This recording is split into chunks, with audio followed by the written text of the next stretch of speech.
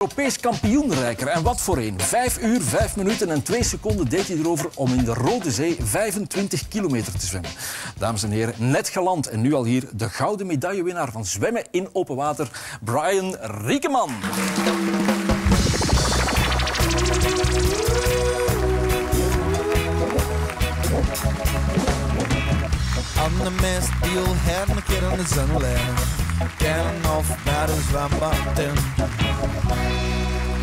Een Brian, gefeliciteerd. Europees kampioen zwemmen in open water. Nadien nog een beetje gefeest. Ehm, klein feestje. Een klein feestje, Klein feestje, ja. maar toch zat geweest. Ja, een beetje wel. Een beetje wel, ja. Nu, zwemmen in open water, we kunnen er ons weinig bij voorstellen. Laten we even kijken. Zo ziet een wedstrijd eruit. Jullie starten met z'n allen aan een koord, liefst op zee, in een meer of een rivier. En dan gaan jullie er als een gek vandoor. Zwemmen, 25 kilometer aan een stuk en de snelste wint. Ja. Maar er is eigenlijk, behalve aan de finish, nauwelijks een baan uitgezet. Klopt, hè? ja, dat klopt. Eh, ik doe open water zwemmen en deze wedstrijden vinden plaats in, eh, in zeeën of in, in eh, meren. En ja, er zijn boeien die de richting aangeven, maar En dat lijnen- moet alleen op boeien afgaan om, om de richting ja, te weten. er liggen grote boeien en meestal zwemmen we rondjes van 2,5 kilometer. En loopt Dus- dat nooit fout? Ja, soms wel, maar dat is, eh, dat, is, dat is open water. Alles kan gebeuren en dat maakt de sport ook eh, zo mooi. Ja. En is het niet een uitputtingsslag, 25 kilometer dan? Ja, Ga je- maar- Kan je demareren zo in, in, in het Ja, dat kan je, maar vooral op een 10 kilometer, 25 kilometer wint de sterkste sowieso. Ja, ja, ja. En 10 kilometer heb je toch wel een portie geluk nodig. En wat, wat eh, is het zwaarste aan, aan die discipline? Goh, het zwaarste is gewoon wachten. Eh, je weet, ehm, normaal gezien, zeker op een 10 kilometer, komen we met een tiental zwemmers aan binnen de twee seconden. Op een 25 kilometer, ik denk nu de top 3 zat nog steeds binnen de 15 seconden. Allee. Maar op zo'n afstand zit het zo dicht bij elkaar allemaal. En het is gewoon wachten Ja. en, en de wedstrijd goed proberen te lezen en, Ja. en Ik, energie zou- ik, zou sparen. denken, ik zou denken, de koude. Dat gebeurt, ja. Er zijn eh, wedstrijden, bijvoorbeeld in Canada, waar dat de koude een hele grote rol eh, speelt. En Want in de regel mogen jullie geen wetsuits dragen. Nee, wij mogen enkel eh, textiele pakken eh, dragen. En ja, die beschermen niets tegen koude, dus... en koude zwemmen is ook mijn specialiteit niet, dus voor mij is dat wel een groot probleem. En dan zit je de hele tijd ook in, nog eens in zout water te zwemmen. Ja. En zout in de wonderstrooi is niks voor niks, een uitdrukking. Ja, ja. Dat, dat doet pijn. Zeker eh, op, op een 10 kilometer valt dat nog mee, maar op een 25 kilometer, als je meer dan 5 uur in het water eh, zit, dat kan, dat kan het pak dat, je- dat je draagt. eh, Maar Hoe wordt dat je passie? goh, Ja, was je als jongetje... dacht, Het is, het is wanneer- niet echt de keuze. Je houdt van zwemmen Ja. en, en je, je doet die sport. Ja. En dan op een gegeven moment word ik er goed in. En ik ga nooit de 100 meter zwemmer of, of een sprinter worden. Daar heb ik de lichaamsbouw niet voor. Daar heb ik ook het hart niet voor. Ik ben, ik ben een lange afstandszwemmer. En- 1500 meter. ja, dat is toch iets te Toch kort. te kort? Ja, Ja. Dit is de langste afstand in, eh, in het zwembad, maar het duurt maar 15 minuten. De toppers 15 minuten. Dus in feite is dat, ja... Dat is in, feite is dat, in feite is dat geen lange afstand. Ja. Zeg, maar in zee, ja, daar zit wel van alles in. De- de- de- En, en tot, wat, wat kan je allemaal tegenkomen? Ik heb, ja, Ja, maar nee, serieus, want in, bij het WK in Melbourne, daar gingen helikopters boven om Ja. de haaien weg te halen. ja, dat klopt. Er waren eh, netten gespannen in de zee. En eh, ook in Hongkong. eh het eerste jaar dat ik naar, naar Hongkong ging eh, voor een wereldbekerwedstrijd, dan hangde er eh, een helikopter in de lucht. En Maar je hebt er nog geen van dichtbij gezien. ik heb er gelukkig nog geen van dichtbij gezien. hè. Maar wel kwallen. Ja, en dat is het ergste. Want eh, die, die doen verschrik- verschrikkelijk veel pijn als die steken. En als dat begin van de wedstrijd gebeurt, ja, dan heb je gewoon pech. En wat doe je dan? Voortzwemmen. Ja, stoppen, dat is nogal moeilijk. Ja. Ja. Nu, de, vergelijkingen tussen jouw discipline en het wielrennen zijn nooit ver weg. Hè? Bestaat er bij jullie ook zoiets als wieltjeszuigen? Ja, dat gebeurt. In het zwemmen eh, kan je heel veel draften, dus achter iemand zwemmen. En daar win je toch 20 tot 30 procent mee, dat je energie kan uitsparen. Dus eh, bij ons is het echt belangrijk om, om, je- om jezelf goed te positioneren. En oftewel in de voeten, oftewel juist naast de zwemmer. Ja. Ehm, daar heb je het meeste het- het goede gat kiezen. Ja, ja, ja. Ja. ja. En, en net als in, in het wielrennen worden jullie ook bevoorraad en dat gaat zo. En er is een, een stok hè, met een Belgische vlag hier. Daar hangt de fles en die moet je er afhalen. ja, Hup, en dan verder zwemmen. ja. Dus, eh, En zijn, zijn er dan... Het beroerd dat uit. ziet er, dat ziet er Ja, inderdaad ja, niet goed maar- uit. Ja, het ligt ook wel een vechtpartij. Je krijgt klop langs alle Ja. kanten. Ja, we zijn, dat, is- dat, is- dat was nu op de Olympische Spelen in Peking. En op de Spelen zijn er maar 25 plaatsen beschikbaar. Maar je kan je voorstellen op, op wereldkampioenschappen. eh, bijvoorbeeld nu in Shanghai, de selectiewedstrijd voor de Spelen van Londen.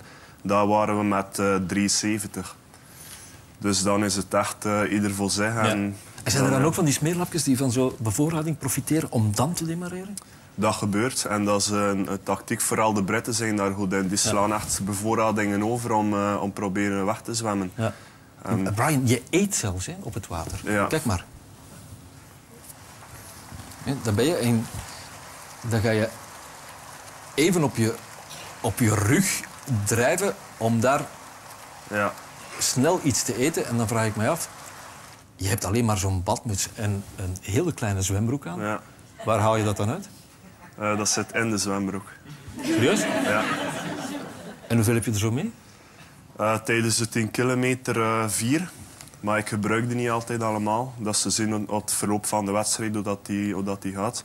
En eh, 25 kilometer heb ik, heb ik er geen bij. Maar iedere, ieder half uur komen we bij zo'n eh, voedingsponton. En dan geeft mijn coach eh, gels aan en dat, die stop ik terug weg. Maar het moet toch ontzettend uitputtend zijn. Moet eens kijken naar de aankomst, hoe je eruit ziet bij de aankomst. Dit is 2009. Hm? Jij, jij, jij waggelt een beetje, maar kijken naar de man achter jou die is echt uitgeput. hè, Die strompelt. hè, valt nog eens. en jij, jij, jij zegt dan dit. 18 kilometer echt ziek geworden, eh, moeten overgeven. Dus ja, dan eh, geen energie meer en dan is het gedaan. Hè. En vooral duidelijkheid, dat wit op je borst, dat is geen restant van wat je overgegeven Nee, hebt. nee, dat is, dat is vet. Dat is waar we- waar wat was er gebeurd? Ja, ik, dat was in, in, eh, in de zee en op de wereldkampioenschappen in Rome. En, en het gevaar is als je iets te veel koolhydraten opneemt met zout water, kan je ziek worden. En op die wedstrijd rond de 18 kilometer heb ik een paar keer moeten overgeven. En ja, Ja. dat is niet plezant. Hè. Voor de, mensen die, voor de mensen die achter u zwemmen ook niet. Nee, nee, nee, Ja, nee. maar misschien zijn er ook al een paar voor hem geweest.